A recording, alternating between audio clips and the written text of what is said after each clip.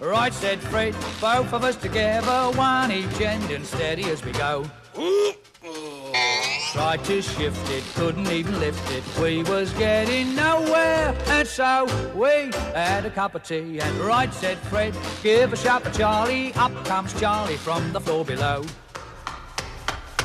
After straining, even and complaining, we was getting nowhere, and so we had a cup of tea. And Charlie had a think, and he thought we ought to take off all the handles and the things what held the candles. But it did no good. Well, I never thought it would. All right, said Fred, have to take the feet off to get them feet off. Wouldn't take a mo. Took its feet off, even took the seat off. Should have got us somewhere, but no. So Fred said, let's have another cup of tea, and we said, right on.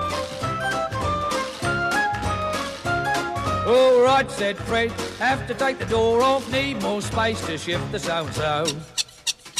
Had bad twinges, taking off the inches, and it got us nowhere. And so we had a cup of tea, and right, said Fred, have to take the wall down. That there wall is gonna have to go.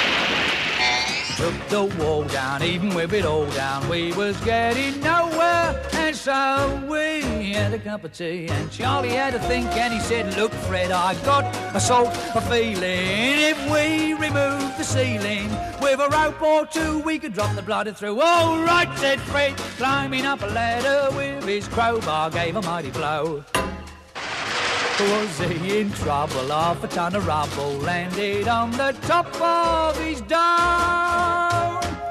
Charlie and me had another cup of tea and then we went home.